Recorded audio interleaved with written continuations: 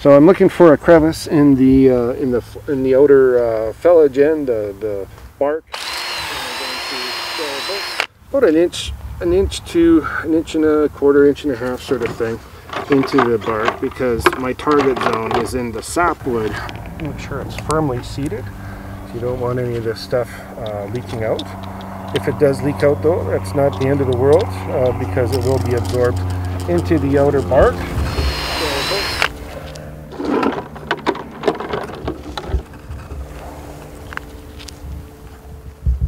So we're gonna set up a uh, eight milliliter, eight milliliters. Hear that? That's it. Uh, getting sucked in there. So that might take uh, oh 15 or 20 seconds. In the meantime, I'm gonna go over and do the other tree. So this tree, the the Gracilis birch here, because there's borer around, uh, just down the street, there's a tree that was recently killed by the bronze birch borer. I'm going to dose this one at a slightly higher rate. Uh, we're going to use uh, 60 uh, milliliters, and that's roughly uh, two uh, milliliters per centimeter.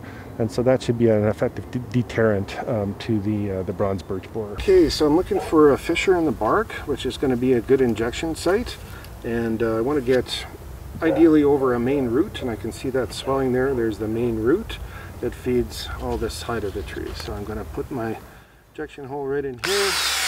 About an inch an inch and a quarter nozzle make sure the nozzle is firmly seated and I'm going to inject it and uh, I'll wait until it's fully absorbed uh, sometimes a minute minute and a half is needed, sometimes a few minutes longer. Uh, generally, it's quite quick in uh, birch trees. As part of our TreeAzin treatment, or our treatment for birch leaf miner and uh, bronze birch borer, uh, we uh, apply a fertilizer to your soil and go right into your lawn. It's a little puck of uh, fertilizer material, minerals, nitrogen, phosphorus, and potassium in 20, 10, and 5 ratios uh, with chelated micronutrients. So that uh, addresses the um, uh, nutrient or mineral deficiency that we see uh, so often. You can see uh, there's the, how the sun basically shines right through and it's very yellow in between the veins, whereas the veins sort of remain uh, a kind of a, a, deeper green color. And that's an indication of deficiency of the mineral iron. the tree basically needs more iron in its sap in order to make high quality chlorophyll. And so that's provided uh, with our fertilizer treatment, which like the TreeAzin takes about two years to fully wear off. Okay. So here now there's no more liquid left in these containers, so we can take them out. There's sometimes a little bit of a residual release of pressure there, so a little puff of air.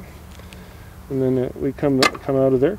We leave a very, very tiny hole. Um, uh, you saw how small that drill bit was, so that's uh, no greater a wound to this tree than uh, cutting off a small twig or branch and it'll uh, seal that over completely and uh, by the time it's ready to be treated again sometime in 2020.